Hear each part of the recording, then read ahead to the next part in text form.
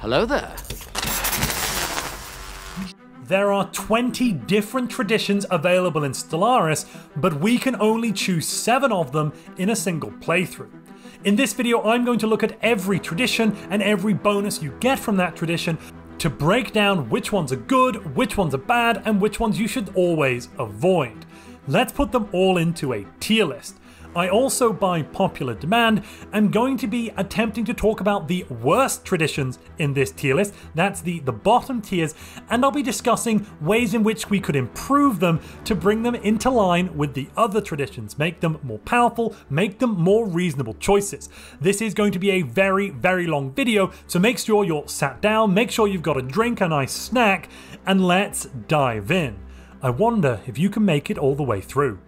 As ever, this tier list is going to start right at the very bottom. We'll look at the absolute worst traditions that you probably don't want to ever take. Now, I do need to preface this by saying yes, all traditions give us bonuses, but because we can only take seven traditions in total, the opportunity cost of locking in one of these next three traditions is far too high for the apparent bonuses we get. Versatility is a tradition only available to machine intelligence empires, and the benefits aren't really that great. As an opener, you'll get minus 10% pop assembly cost, which is really neither here nor there. On the right hand side of the tree, you get minus 10% pop housing usage. As a machine empire, you really don't care about having excess pop housing available because you're not going to be getting any logistic pop growth. And even if you are, your logistic pop growth from biopops is reduced by 50% so it's not really that useful. Yes, minus 5% upkeep from jobs is something, but it's really not very much in terms of bonus. Minus 33% resettlement cost, again, it's not great. You're not going to be doing that much resettling with machines that spending an entire tradition on this really makes sense. On the left hand side, we get plus 50 trust cap with machine intelligence empires and plus one available envoy. The envoy is nice, but there are more efficient traditions if we want to get envoys on our side. Yes, machine intelligence empires generally have fewer ways of getting more envoys, they don't have access to things like the Xenophile ethic, but taking an entire tradition just for plus one envoy is not worth it. Finally, we'll get minus 10% market fee, which is kind of pleasant actually, and then plus two amenities per maintenance drone. That will decrease the number of maintenance and drones we need across our empire and increase their efficiency.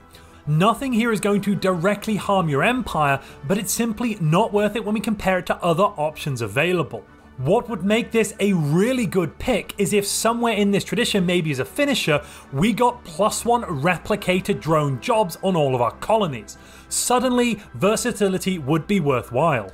Adaptability is the versatility of regular biological empires. This will grant us minus 10% pop housing usage as an opener, plus 10% habitability on the right hand side, which is good, but will scale off very quickly in the mid to late game as we hit 100% habitability from other sources. We'll get minus 33% resettlement cost and plus 1 building slots for all planets. The plus 1 building slots is definitely nice However, it's not worth an entire tradition just for that bonus. If you're a Void Dweller, maybe you might want to take this much later on as your fifth or sixth for that plus one building slot if you have nothing else available that really works for you, because it could be nice to have better efficiency on all of your habitats with that extra building slot. You are somewhat limited by the maximum number of building slots you can get, but overall it's still not great. On the left hand side, we get minus 10% building and district strategic resource cost and upkeep, which is pleasant but not great. Minus 25% orbital bombardment damage and plus 25% defense army damage. Now, whilst reducing orbital bombardment damage is still very important, it's not as useful as it used to be because actual ground combat will completely devastate your planet, killing all of the pops and then decolonizing the darn planet. So even if you can entirely hold them off in orbit and hold them off on the planet because you have a bigger army, they could just send a few xenomorphs down and cause all of the pops on that planet to die. That would not actually allow you to save the planet, and thus, all the bombardment damage reduction is not as good or as useful as it used to be. finishing this off, we get access to the planetary prospecting decision if you're not a Void Dweller, or the orbital survey decision if you are a Void Dweller. Neither of those decisions are particularly amazing. If I was going to attempt to rebalance this and make it more palatable, I would probably get rid of that plus 10% habitability bonus and instead give you 50% minimum habitability on all planets. Your species is adaptable, why don't we let them live everywhere? Additionally, instead of plus one building slots for all planets, possibly plus 0.5 building slots from city districts and from the habitation districts on habitats. That would actually, I think, make this a relatively good pick both early and later on into the game. Last and very possibly least, we have the statecraft tradition. This is a new one that came with Galactic Paragons and oh my goodness me, it's not so great. So, opening, we get plus 20 Edict Fund, and we unlock the Departmental Efficiency Agenda. I haven't talked about the previous agendas in the last two traditions, but let me tell you, they're not that amazing. Departmental efficiency will grant you 20% counselor experience gain, and then when you complete it, 20% counselor experience gain still, and plus 2 effective counselor skill while that's alright, there are much better agendas that we can take that will actually impact and help us immediately by not only improving, for instance, our leader levels across the board, if we've got something that improves that maybe, or possibly improving resource output or counselor number, because we'll get more counselor skill with having more counselors on the council, or something else. Departmental efficiency isn't great.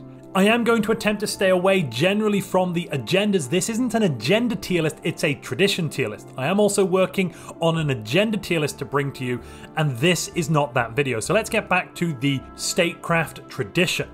Alright, then on the right hand side, we get plus 10% counselor experience gain.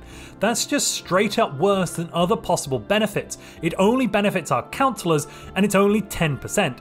Other traditions can benefit all of our leaders with 10% or even higher numbers, and yeah, that's not so great. Then we get plus 300 leader experience per launched agenda. I think that means every time we launch an agenda, we get 300 leader experience. Again, that's not very much experience. There are better agendas that will give us more experience, or just better ways of getting experience than spending all of our Unity on this crappy tradition. On the left hand side, we get a 10% counselor agenda speed boost. That's alright, but there are faster ways of improving your council agenda speed, like having more councillors or leveling them all up. You will unlock the rightful claims and oppose the fallen agenda. Oppose the fallen is actually alright, but it's not very useful until quite a bit later on in the game, and even then, there's probably better things you can be doing with your agendas. Finally, we'll get plus 20% council agenda effect duration, so our agendas will last slightly longer. That's somewhat pleasant, but two years isn't very much. When we finish it off, we get plus one leader capacity, plus one effective counselor skill, and then something that's absolutely diabolical, we will be granted the Galactic Administration Technology as a permanent research option with 25% progress if not already unlocked. So if we take Statecraft later, that bonus does nothing for us, and if we take it earlier, we get 25% off Galactic Administration. As far as the finisher effect for traditions go, that is really diabolical. Plus one leader capacity is useful, and plus one effective counselor skill is nice, but there are much better options. Honestly, I don't know what I would do to rework this one to make it useful. I kind of feel we need to take the whole statecraft tradition all the way, you know, back to formula. But you can't do this to me. You know how much I sacrificed? We're up in the C tier now. Traditions in this tier are better than what we've previously seen, but they're still not amazing. There may be a couple of picks that are quite good and have some niche uses, maybe early on or later on, or for some specific goals, but overall, you're probably not going to take these for their raw power, especially not for your first three or four traditions. Domination has slightly different effects depending on if you're a Void Dweller or not. If you're not, you get minus 33% clear blocker cost, and if you are, you get a juicy minus 20% habitat upkeep. That upkeep reduction is nice, but it's better later on in the game as you have more habitats. You also get access to the Civil Exclusion Agenda, which I think is secretly one of the better agendas we have out there, but unfortunately it is locked into the domination tradition here. On the right, we'll get additional unity from enforcers, as well as unlocking the enhanced surveillance edict if we're not Gestalt, and if we are, we'll get minus 10% deviancy on all colonies, and then following that, we'll get plus 5% worker and slave output if we're not Gestalt, along with the extended shifts edict, which is an okay edict. And if we are Gestalt, 5% additional menial drone output, and the drone overdrive edict, which is not so great. On the left hand side of the tree, we'll get minus 10% governor cost and upkeep, and plus 0.5 monthly influence. The governor cost and upkeep reduction is honestly dog poo. The monthly influence is alright, but still not amazing. We'll get plus one available housing from all upgraded capital buildings and all housing buildings if we're not Gestalt, and plus two housing from synaptic nodes if we're a hive mind, or minus 25% empire size from districts if we're a machine intelligence. Overall, none of that is particularly amazing. Finally, we'll get plus 20% counselor experience gain, which is much better than the counselor specific tradition we've already looked at once, oh my goodness me, and plus 50 edict fund that's bundled into a single choice. Comparing that with just plus 10% counselor experience gain for an entire tradition pick previously really does show you how absolutely awful that other tradition was that I'm, I'm not even going to mention. Last, we'll get minus 10% empire size from pops, and we'll get the ability to create hegemony federations if we pick the diplomacy tradition. There are basically two versions of the Harmony tradition. Harmony for regular biological empires, and Synchronicity for Gestalt Consciousness Empires. Neither of them are particularly fantastic, though they do have some nice bonuses. Both will open up by granting you minus 10% pop upkeep. If you're a regular bio, you'll get inner stability, which is alright, and for Gestalts, you'll get the revision agenda. On the right hand side, Synchronicity is going to grant plus 2 amenities from Synapse drones if you're a hive mind, or if you're a machine, you'll get reduced deviancy and some more automatic resettlement chance. For regular bios, you get 25% governing ethics attraction and minus 10 crime. Now, those additional amenity output from Synapse drones used to be really, really good. However, unfortunately, nowadays evaluated drones are just straight up better. They require less upkeep, they produce less amenities both before and after completing this tradition. So it's not as good as it used to be. Increased governing ethics attraction is nice, that will overall boost your Unity output if you're able to make your primary factions happy as a normie bio, but it's nothing to write home about. Last on the right, both types get plus 5 stability, which is equivalent to a 3% increased resource output from job or trade value. Pretty tasty. On the left hand side, as a normal empire, we're going to get increased leader lifespan unless we're a necrophage, in which case we'll get reduced leader maximum negative traits, and some extra unity per converted necrophage pop. That additional leader lifespan is pleasant, but there are better and longer leader lifespan bonuses we can get elsewhere in the tradition tree. Further looking at the normie empires, we'll get reduced empire size from pops, reduced demotion time unless we're shared burdens, and if we are, minus 20% leader upkeep for shared burdens. We'll also get plus 50 Edict Fund. Early on, that 50 Edict Fund is rather nice, but only if you're picking Harmony in the first couple of traditions. Later, it's really not worth it. That won't even allow you to run a single Edict. As a finisher for Normie Empires, we'll get plus 25% Planetary Ascension effect, and we'll have the ability to create Holy Covenant Federations. They are not the best Federation type out there, I'm going to be honest, even if you're stacking Planetary Ascension effect bonuses. Looking back over to Gestalt, if we're Hive Mind, we'll also get that plus 10 years leader lifespan and a reduction in the maximum leader negative traits if we're not Necrophage. If we are, we get more unity again from converting pops. Machine Intelligence is interestingly getting minus 50% leader accident chance. Now, this is one of the only ways of reducing your leader accident chance. Whilst leaders don't really tend to have that much of a problem with leader accidents as a machine, it could be nice if you just simply want to keep alive one of your leaders, though I really, really doubt it's going to be worth it. On the right, we'll get minus 20% leader upkeep and minus 10% empire size from pops, and then again that plus 50 edict fund. As a finisher, we get 25% planetary ascension effect, which is alright, but as far as finisher effects go, that is pretty crap. We will also not get the ability to create a Holy Covenant Federation, allegedly, if we are a Gestalt consciousness, which is kind of sad. If I was going to improve these two traditions and try to bring them up further into the balance, make them more regular picks, I'd probably do something like double that stability bonus up to 10, give the regular biological empire a finisher effect that increases their unity output and possibly increases faction happiness, maybe by 10% across the empire. That would make it a better choice for bio empires. For synchronicity, maybe we should give some Unity bonus output as a finisher, maybe plus 20% Empire wide monthly Unity, and also improve that darnable increased amenities from Synapse drones. We just maybe put something else in there, maybe increase some Unity output from maintenance drones, possibly. And then when it comes to Edict Fund for both, I'm thinking we keep that plus 50 Edict Fund, but we also throw in a minus 15 or minus 20% edict cost, that would scale throughout the game, meaning you'd still get the edict fund bonus early on, but you'd also get some edict cost reductions. I don't know, these are just my thoughts. Let me know down in the comments if you've got any interesting ideas about how to make some of these traditions that are really garbage just a bit better. Having expansion so low down in this tier list, I understand, is a bit of a controversial decision, for some of you out there watching this video. And I know I'm going to get berated on a couple of forums and called an idiot because I've got it quite low down by some people.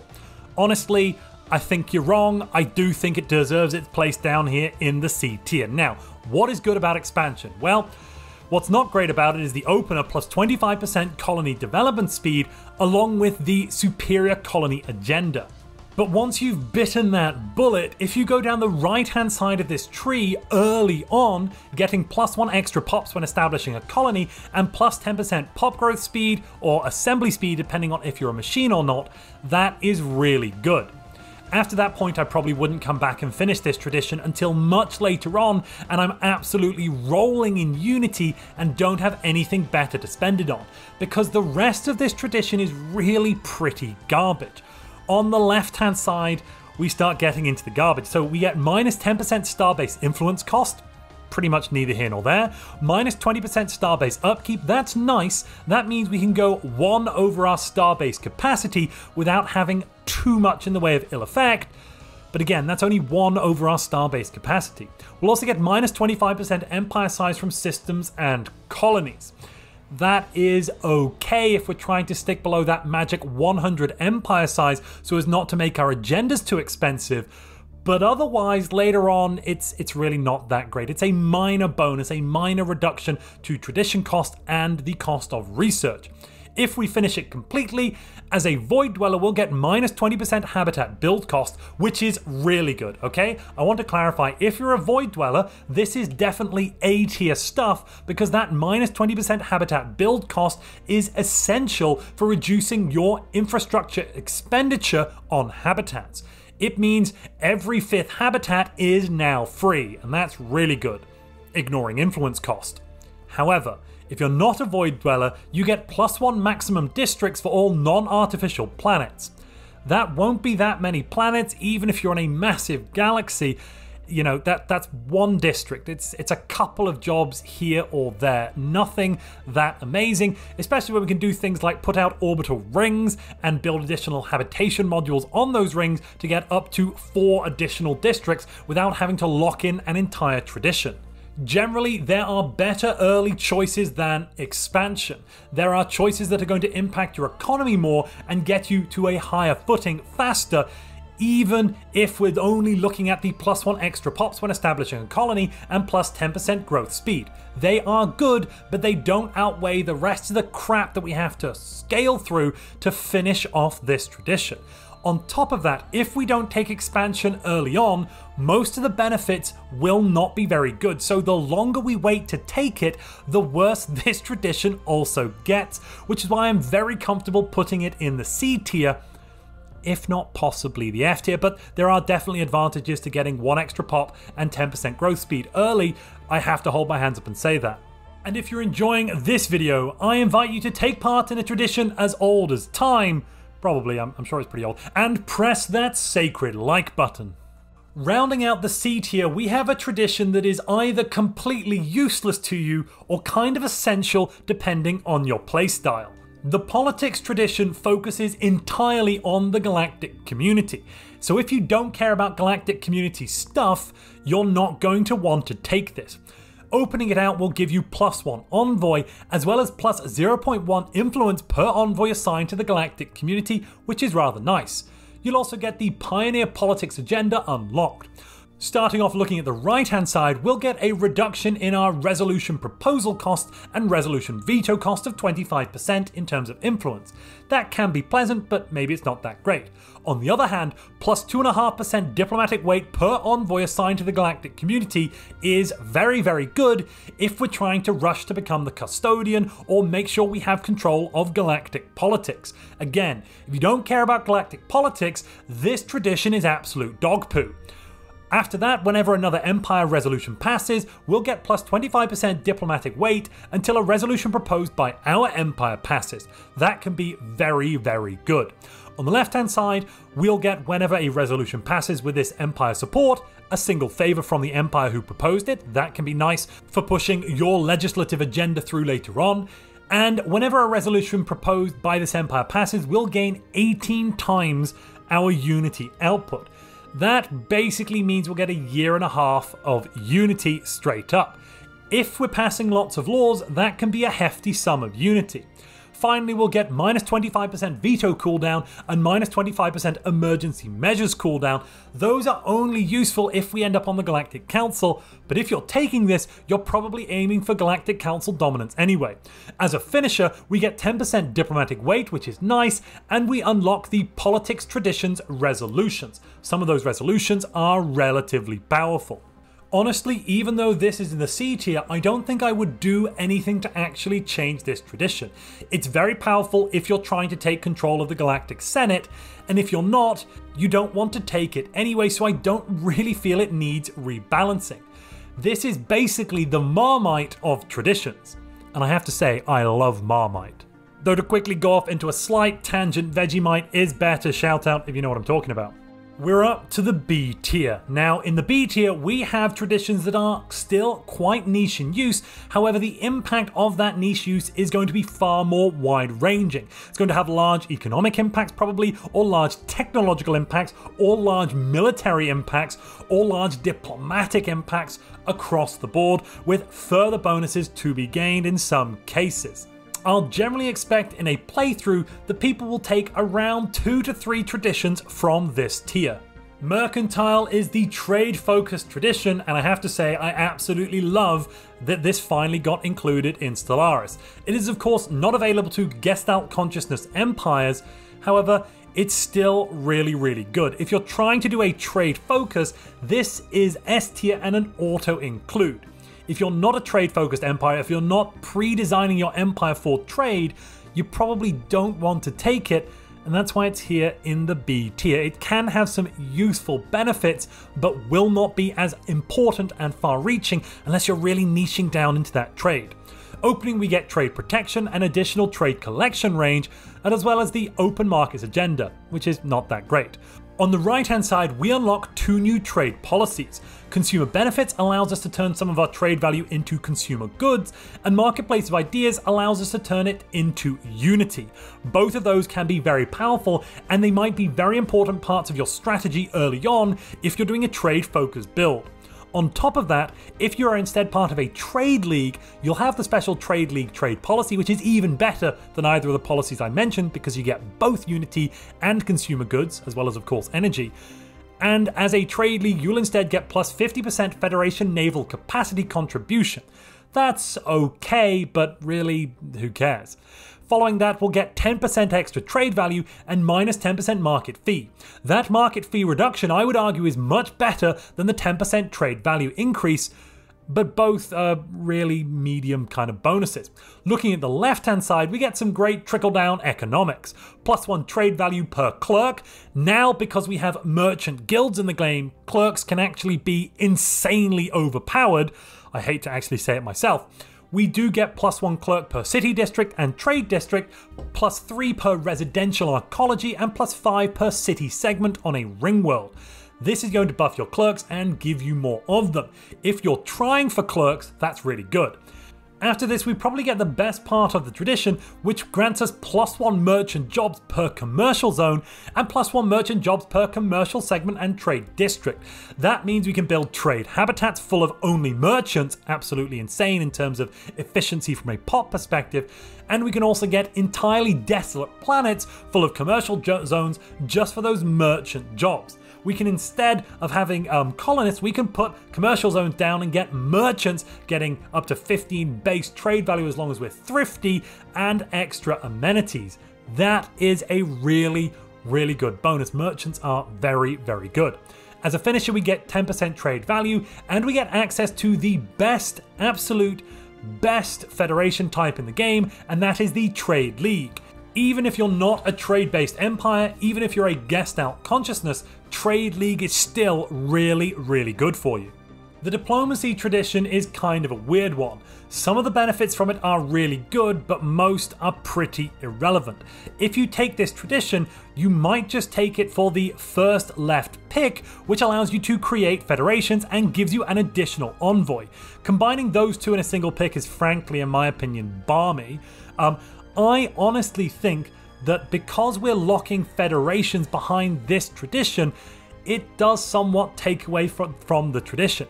We could instead have federations as a technology like it used to be in the game and make this diplomacy tradition all about improving the benefits you get from your federation as it levels up because of course federations as they get experience get to new levels and give you more bonuses.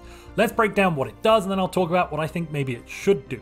So, you get minus 50% diplomatic influence cost for all your pacts, and you unlock the Diplomatic Grants Edict. That is a really good edict if you're trying to get additional uh, envoys. Then on the left hand side, you can create federations and get plus one available envoys. That's the most powerful pick here.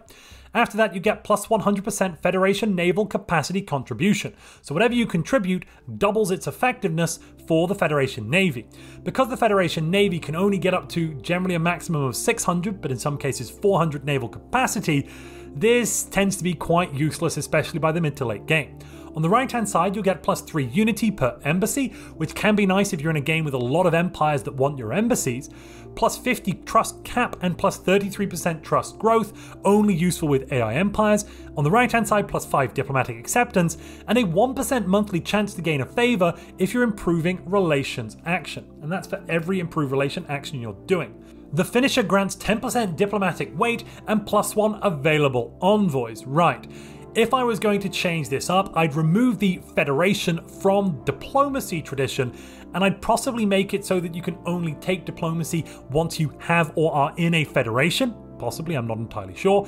And then I would make all of its benefits about getting into a Federation A, or B, making your Federation more powerful. So have some benefits like double the bonuses you get from your federation would be really good. That would make this very useful. Also, increase the uh, diplomatic relations with Xeno empires, making them more likely to accept coming into a federation with you, possibly giving you some sort of bonus to mitigate that minus 1000 relation penalty that AI empires sometimes have if they hate one member of your federation, because that can be really, really upsetting. Overall, I think that it, it is good as it is, but locking federations behind this tradition, I kind of think we maybe should go back to the previous system where it was locked behind a technology, though that could mean diplomacy is a tradition no one ever takes. But if that is the case, we simply need to buff it just a bit further. Unyielding Tradition focuses on the defense of your empire, basically allowing you to build more and bigger star bases and make your planets slightly less pregnable. Even with 10 good men, you're not going to get it done. Right, so let's look at the bonus here because I've moved this down, it used to be higher up. The reason for that is mainly down to the fact that orbital bombardment and invasion has been reworked and it's now much, much more difficult to resist an enemy. Even with this tradition, I don't really think it's worth it because it's almost impossible to stop an enemy force wiping you out completely. So, the opener here is plus 2 starbase capacity, which is pleasant, and plus 50% starbase upgrade speed. We also get the less penetrable border agenda, which is an alright one, but really not that great. On the right hand side, we get some crazy bonuses to our starbase 33% starbase health and damage, and 33% defense platform damage and health. That is really, really good. Following that, we get plus 2 starbase capacity, minus 50% starbase upgrade cost, and plus 4 hostile operations difficulty for sabotage starbase. Sabotage Starbase doesn't really get used very often, so that's not that useful, but increased Starbase capacity and reduced Starbase upgrade cost is a real saver in terms of time and alloys. If you're trying to be doing some turtling nonsense, getting these bonuses to your starbase damage and defense platform damage as well as hull points is completely invaluable and you have to pick it. But generally, starbases and defense platforms aren't as worthwhile an investment as regular ships, and that's why this is here in the B tier. Moving over to the left hand side, we'll get plus 25% defense army health, plus 0.5 unity per defense army, which is actually quite a good unity income considering we now get defense armies as standard from our capitals. So that's basically increased unity from all of our capital buildings. Minus 10% general cost and upkeep is so bad I'm not even going to talk about it, we're going to move on. As mentioned previously, a reduction in orbital bombardment damage received is not as useful as it used to be. You can still have your pops stolen from that world relatively easily by nihilistic acquisition and that sort of stuff, and then it does nothing to prevent an enemy throwing down just a few high collateral damage armies and wiping out all of your pops on the planet's surface anyway. Minus 25% war exhaustion gain is relatively nice, and plus 25% hostile claim influence cost can also be slightly annoying for your enemy so that is something that is good. Finally, plus 15% ship fire rate within Empire's borders and 33% ship build speed while in defensive war is definitely rather nice. The finisher effect is 50% defense platform cap, which is absolutely insane if you're trying to max out your defense platforms, and if you're going for some sort of crazy wacky defense platform build, this is very necessary. Minus 20% starbase upkeep is again nice. That's basically going to allow you to go with your starbase capacity by one if you want to, or just reduce all of your starbase uh, upkeep costs if you're at or under starbase capacity. Completing this lets you build a Martial Alliance Federation, and if you are a Bulwark Tier 3, all enemy ships will get minus 0.5 daily hull regen in owned systems, that is your own systems, and that means they'll just start falling like flies and you won't even have to shoot them. It's pretty terrifying, actually. I think if I was going to improve this, I might do something about reducing collateral damage inflicted by enemy forces. Collateral damage at the moment, I think, definitely needs, if not a rework, we need some defense against it because at the moment you really can't stop collateral damage wiping things out. Yes, it's not as bad as it was at 3.8's release, but it's still pretty darn terrifying. For some people, Discovery is an auto first or second pick. Now, I think that is generally not a reasonable choice. If you're wanting to increase your research, a better economic output will be the way to do that. If you're wanting to boost your leaders, there are better traditions for that. Um, if you're wanting to basically do anything except faster survey speed and get more anomalies, you don't really need discovery. You can do it in other ways. That's why it's down here in the B tier. That being said, it does have some nice bonuses. Let's get into what they are. So, opening up, we get 20% anomaly research speed and we unlock the Map the Stars Edict. That will help by granting us the ability to get more anomalies, which is going to be rather useful. We also unlock the Chart the Unknown agenda, if we have galactic paragons. On the right hand side, we'll get plus one research alternatives. As an early pick, that can be essential for some builds, although you won't come back and finish off the rest of Discovery until much, much, much later on. We also reduce our scientist cost and upkeep by 10%. Again, that's dog poo. I don't know why they started putting that kind of bonus in. It's such a minuscule bonus overall. Given that we have so few leaders, I, I really don't understand what the thought was here we'll get plus one leader pool size and plus 10% leader experience gain. That is definitely really good, the plus one leader pool size, that, that's definitely good. And finally, minus 20% research upkeep on the right hand side. That basically reduces our consumer goods, minerals, or energy usage depending on what type of empire we are. Looking at the left, we'll get an increase to survey speed, and we will increase the chance at which our science ships disengage, keeping them alive for slightly longer and allowing us to explore slightly faster. It's alright, but not amazing. We'll then get a 20% bonus to research station output and research from star-based buildings, along with the research subsidies edict. Research subsidies tends to be too expensive for what it actually is, giving you 10% boost to research for an additional energy upkeep and quite a large Unity cost, given it is an edict. That 10% bonus is going to be quite small relative to the other bonuses we'll be getting from technologies, stability, and other things we can stack later on. Finishing the whole thing grants us 10% research speed, as well as the ability to form a research cooperative federation, which is a relatively good federation if you're a machine empire, and even if you're a regular empire, there are good bonuses from the research cooperative. If you're a Scholarium at tier 3, you'll also get an additional 1000 research points of every type in your research caches. That is really good, but generally you shouldn't be a Scholarium. If you are, I, I'm sorry. If I was going to make any changes to Discovery, I think I would push it further into the leader side of things, allowing you to possibly get plus one leader trait picks, not just plus one leader pool size and that sort of stuff. Maybe only for scientists, so scientists only get plus one leader pool size and plus one leader trait picks, but kind of double down on your scientists being better. Give them better chances to roll certain uh, traits that benefit your research and that sort of thing. Of course, by that I'm meaning give them better chances to roll expertise, or maybe guarantee they have an expertise like one of the civics we can get, technocracy.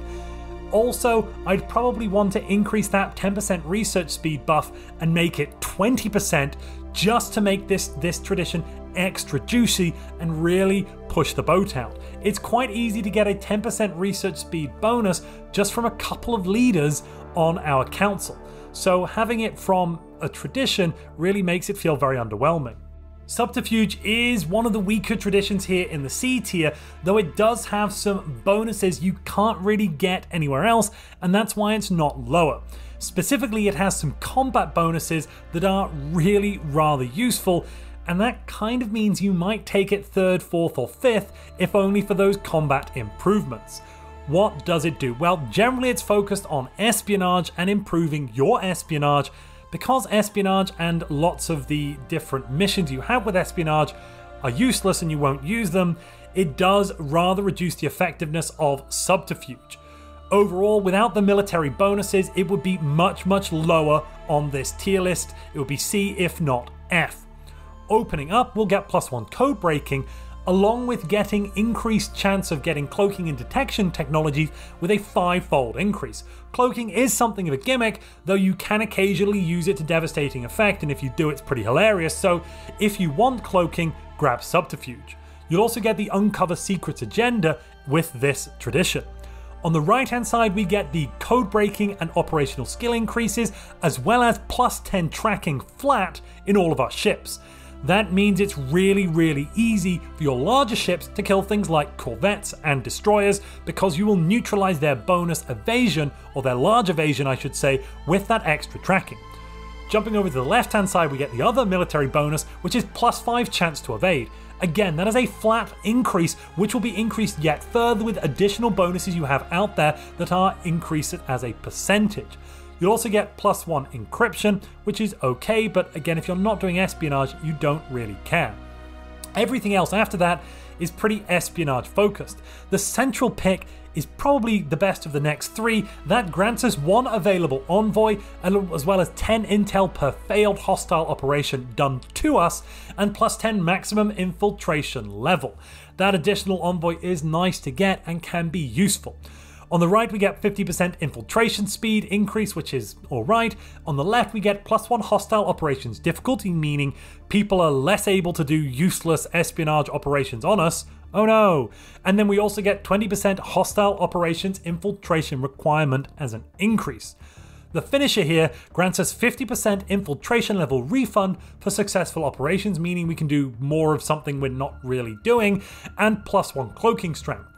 The cloaking strength is probably the nicest part of the finisher, but honestly, you probably only want the first couple of picks here on the left and right, just for those bonuses to tracking and evasion, and then maybe grabbing the additional envoy. The rest of it can probably be ignored, definitely, in fact, if you're not going for cloaking. How do I think this can be reworked? Well, honestly, I don't really think it can be. The main thing we need here is a rework to espionage and a rework to the operations specifically. Operations need to be more impactful. Having seen Stellaris Nexus, where we're able to do operations where we completely remove a planet, cause a coup, that sort of thing, why can't we do that in Stellaris? I get that it might feel sucky sometimes to have these things happen to us. Maybe it takes, you know, 10 or 20 years to trigger this coup, but we should have some large and impactful events that can happen from espionage operations because at the moment they really do feel too toothless. And speaking of secret espionage operations, we're now over we're over 40 minutes of the way through this gargantuan video and welcome, if you're still with me, to the secret call out. Let me know down in the comments below if you're still here. I'd love to hear from you. If you've fallen asleep, I completely understand. But let's continue into the A tier. In this tier, the A tier, everything here and, and above here is something you're going to take in every single one of your run throughs. I can't see why you wouldn't. There is a difference in power level between the two, and that's why I have separated them out, but otherwise they're basically auto includes. A couple of things here you won't take because there are better options that lock you out of taking them. We're talking about Ascension traditions, of course, but don't worry about that. Let's dive into A tier. Aptitude is a new tradition that we've had with Galactic Paragons. It basically makes all of your leaders better and if you play it right, if you play it early and correctly, it can give you some crazy advantages because of the way that resource traits are currently balanced in the game. I imagine resource traits are going to get nerfed a bit or rebalanced a bit, and also if you're not playing directly for that strategy, it isn't quite as powerful. However, it will be buffing all of your leaders, giving you better bonuses from your leaders empire wide, and that's why it's comfortably here in the A tier. Starting off, we get plus one leader starting traits straight out of the gate. That just means all of your leaders get an extra trait. That is amazing and pretty insane, actually, just getting one trait free. That could be extra minerals, that could be 10% extra leader experience across your empire, it could be an additional 6% science across your empire. That's the equivalent from just one leader getting one trait of almost an entire ascension perk. It's completely balmy. We also unlock the leadership conditioning agenda. Oh my goodness me, and let me tell you, that agenda is really good. Oh my lord. Anyway, looking at the right hand side, we get 25% leader experience gain, which is a nice bonus, and then Something which is kind of weird, we get plus 2 naval capacity per admiral and general, that's a flat plus 2, not a percentage, bit of an odd one. Minus 2 empire size per governor level, again a bit of an odd one. We can no longer go below, um, I think it's 50 empire size with reductions, which is somewhat upsetting. We used to be able to go below zero and do some crazy shenanigans, but alas, that's not possible anymore. However, it can still be nice to dip down underneath 100 empire size early on if we take this as our first or second tradition in order to rush a couple of agendas. Because under 100 empire size, agendas are so much cheaper. 99 empire size compared to 101 your agendas are like 10 times cheaper to, to, to, rush to finish early. So, so that's crazy. Finally, your leaders will get plus 0.5% leader experience gain per scientist level per scientist in the Empire. That's a nice leader experience gain bonus. Jumping over to the left, we get what is arguably the better side of this tradition, minus 25% leader cost, so they're cheaper to recruit, and plus 1 leader pool size, meaning we get more leader choices. Then we'll get plus 20 years leader lifespan, unless we're a machine intelligence, in which case we get minus 25% leader upkeep, reducing the cost of our leaders yet further. That leader lifespan will be good keeping our leaders alive for even longer, hopefully until we can either ascend genetically, possibly ascend uh, cybernetically or synthetically, and keep our leaders alive indefinitely. We'll also get minus 1 leader maximum negative traits and minus 25% leader upkeep on the far left. Finishing off everything grants us plus one leader capacity, which is useful, and then a whopping plus one additional leader trait options, which is really, really good. Overall, I don't think aptitude needs to be rebalanced. I think it is very powerful as it is. If you're not going heavy on a leader strategy, you might not take this until second or third, but I think you'll still be taking it as a tradition because leaders are such an integral part of the game as of the release of Galactic Paragons. Now we have one of the Ascension traditions. Ascension traditions are very, very strong. They all require you to take an Ascension perk first, which has some prerequisites itself, and that means they are somewhat gated until at least your uh, second or third tradition, if not later, in the case of something like synthetic. So, if you're a regular biological empire, synthetic evolution is the gatekeeping ascension perk preventing you from taking this. That also requires you to have the synthetic technology, which means generally this is the last ascension path that becomes available to you. On the other hand, if you're a machine, you only need the Synthetic Age Ascension perk, which is ridiculously easy to get in comparison, meaning you can complete this much earlier. If you're a Machine Intelligence Empire, this is almost certainly S tier especially if you don't have access to the cybernetic ascension path, and thus this is the only one you can take.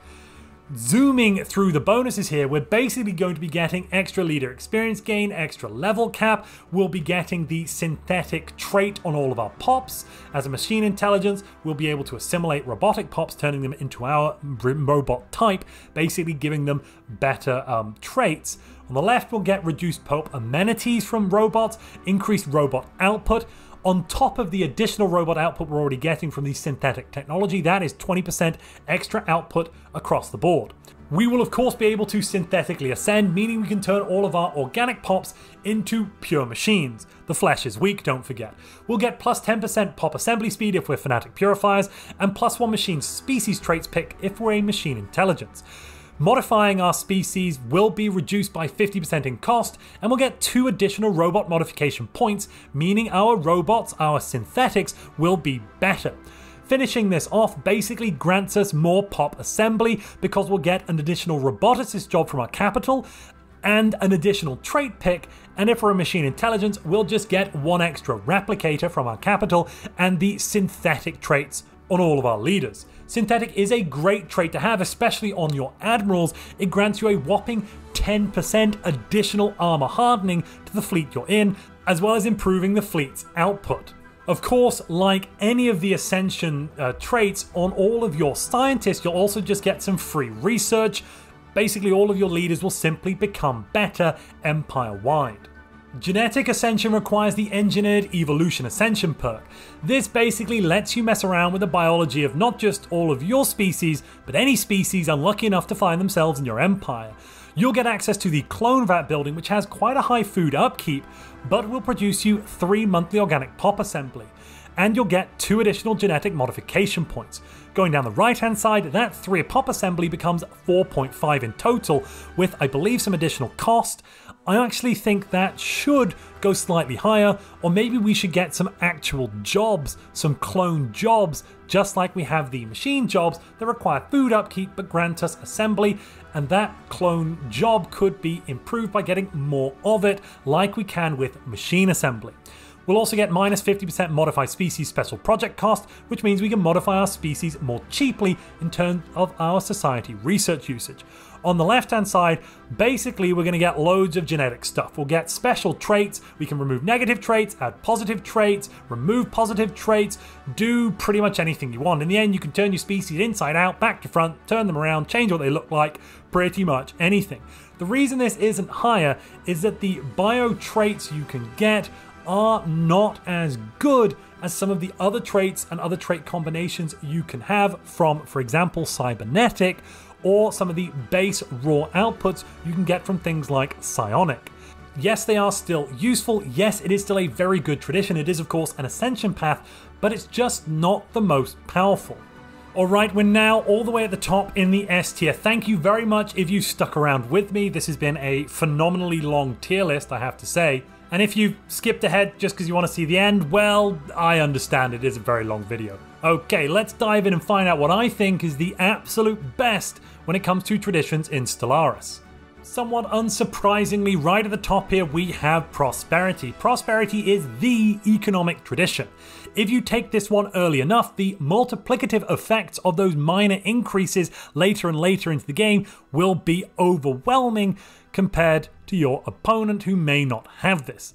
You'll start off with plus 20% mining station output, which is nice, very useful, especially if Prosperity is your first pick to boost your basic resource output. You'll also unlock the Favored Society agenda, which is Oh my goodness me, it's a good agenda. Then on the right hand side, I expect you'll take the building reduction first. That grants minus 10% building and district cost and 25% planet build speed. That means you can build your colonies up cheaper and faster than anyone else. That's a really good first pick. Next up, we increase our housing, or if you're a void dweller, you get plus one building slot on your orbital habitat. This is fine, but not amazing. It's probably the last thing you'll pick in this tradition just to finish it off. Going to the left hand side, we get 10% building and district upkeep reduction, which is alright, not amazing.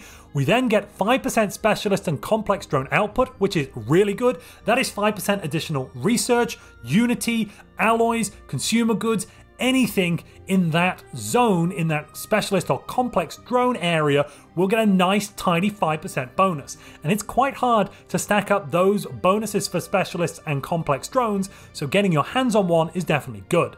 We'll also get minus 5% upkeep from jobs, which is somewhat of a nice bonus, but again, not amazing. Last but by no means least, we get a flat 5% resources output from jobs. That is equivalent to getting something like 8.5 stability on every single planet. Taking prosperity early is definitely recommended. Finish it when you have the time, unless your strategy requires you to dip into something else, but do not forget to take it and do not ignore it. It is one of the best traditions you can have from an economic perspective, and Stellaris is at its heart a game all about economics and making your numbers go up. Next, we have Supremacy. Stellaris requires a lot of warfare. You either need to be ready to fight or you need to be actually fighting, and Supremacy ticks all of those boxes. Opening up, you'll get plus 20 naval capacity and plus 20% army damage. That 20 nav cap is very nice, though does fall off a bit later on in the game. You'll also unlock the military build up agenda, which is another amazing agenda. On the left hand side, you should probably first off take the minus 10% ship build cost and plus 25% ship build speed. We can stack that with other modifiers to get a comfortable 50 to 60% ship build cost reduction by the mid game and push that up to 90% by the late game if we're going really wild. We also can get minus 10% ship upkeep and another 20% naval capacity. This is a percentage increase, not a flat increase, so that is a helpful bonus to have throughout the game. Ship upkeep reductions as well are very, very good. You might have the economy to produce lots of ships, you might have lots of discounts to build lots of ships, but if you cannot support those ships, they're basically useless. Reducing ship upkeep is essential to getting larger fleets out. Finally, in this area, we have plus 20 fleet command limit and a diabolical minus 10% admiral cost and upkeep. Jumping over to the right hand side, we'll get plus 10% ship fire rate, basically making all of your ships fight slightly faster, meaning they deal slightly more damage over the same amount of time compared to when you didn't have this. You also get 20% orbital bombardment damage. Finally, on the right, you get 20% damage against star bases, making them slightly easier to crack, and somewhat negating the bonuses that other people might be getting from unyielding.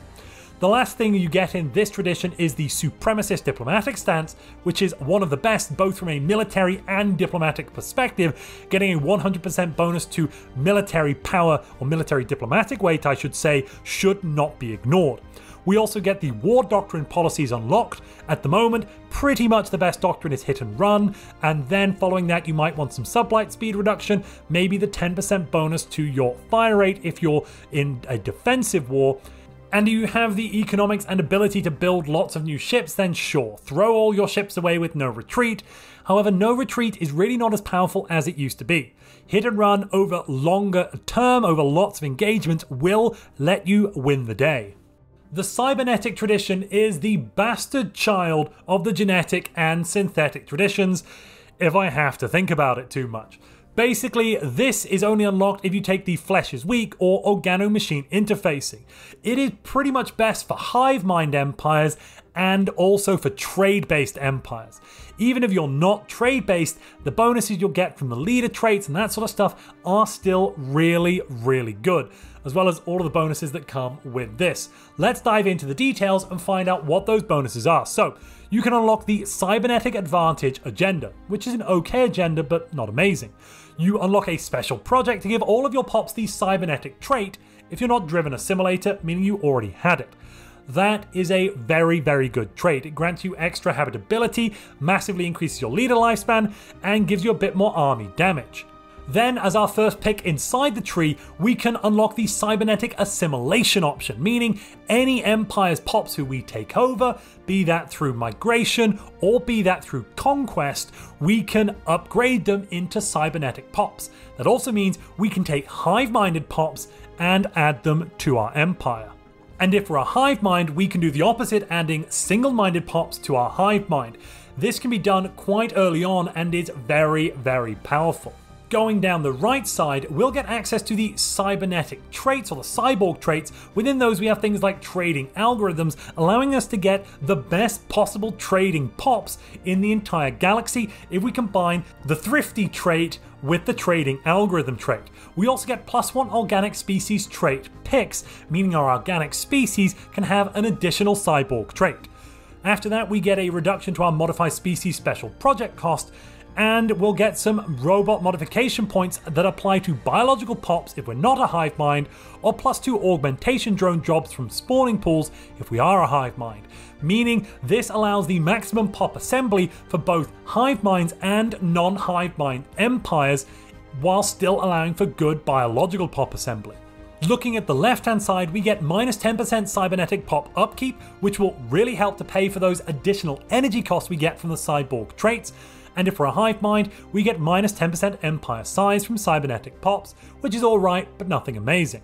Then we will unlock the assembly standards policy if we're not driven assimilator, allowing us to assemble robotic pops. Or not just robotic pops, I should say, assemble cyborg pops with our robot assembly jobs, meaning we can build our very good specialist cyborg pops without needing to clone them or grow them, we just build them straight up. As a finisher, we get 10% resources from Cybernetic Pops. You'll notice that is just as good as the plus 10% resources from synthetics you get with Synthetic Ascension. When we combine that with the fact we can stack organic and cyborg traits on our pops, means we can get overall better pops than synthetics. We also get another plus one organic species trait picks. Cybernetic really is one of the best ascensions these days. Last but by absolutely no means least, we have the Psionic Tradition. Of course, you'll have to take the Mind Over Matter Ascension perk, which does require you to roll Psionic Theory or have had the Teachers of the Shroud. You don't need the Ascension perk, then you just need the Psionic Theory, but that is guaranteed as one of your research options. But because it's so RNG based, or it can be so RNG based, it means that you might not actually be able to pick this up in a timely manner. If you don't, I'd probably recommend you bite the bullet and go for another ascension path, choose a different ascension tradition. However, if you are lucky, if the gods smile on you from beyond the shroud, buckle up and prepare for greatness. You'll unlock the Psionic Supremacy agenda, which is good, not that great, but good. You'll also get the latent psionic trait on all of your pops, meaning some of your leaders will start becoming psionic. Psionic is quite a good leader bonus. For admirals, you get plus 10% shield hardening, which can be very good at stopping bypass weaponry. On the left side, you'll unlock the Psi Core building. Now, in order to get the Psi Core building, you'll need an upgraded capital building, but by the mid game, that shouldn't be too difficult to get. The Psi Core building will give you some telepaths, and each telepath increases your resources from jobs by 5% for every psionic pop on the planet. That's 10% additional resources from jobs on your planet, along with quite a large Unity production from those telepaths and some bonuses to reducing your crime. It's very nice. On the right hand side, we'll get an additional 10 base intel level on every other empire, and the Sight Beyond Sight Edict. If you've got Zro, it's a good one to get your ships flying around just that little bit faster and giving you a tactical edge. In the center here, we will finally become properly psionic, moving from latent psionic to full psionic, meaning we get all of our leaders with the psionic trait. It's a great leader trait, you definitely want it. We will also unlock the psionic assimilation, meaning we can take other species, even cybernetic species, and convert them into psionic pops, meaning they'll get more bonuses in our empire. On the far right at the bottom, we'll get two code breaking and two encryption, meaning other empires basically can't do espionage on us, even if they're pushing hard into the espionage tradition. And then on the left, we'll be able to breach into the Shroud and get an additional 5% resources from jobs from Psionic Pops for each telepath job. That means we'll get 20% additional resources from jobs on every planet with two telepaths, and as I'll talk about in a moment, there is the option to get even more telepaths, meaning we can push this up to about 50% on one of our planets, which is absolutely insane. As a finisher, we'll get 10% Edict upkeep reduction and 20% Shroud Delve cooldown. And we will get the ability to confirm an established covenant. This means that we'll be able to not only get a covenant, as we'll get that earlier on, but we'll be able to confirm the darn thing and it will make us very, very powerful. That will unlock special technologies, special bonuses, special buildings. There is always a price to pay, but in this case, for the Chaos Gods, or should I say the gods of the Shroud, it is definitely worth it. Corpse Emperor be damned.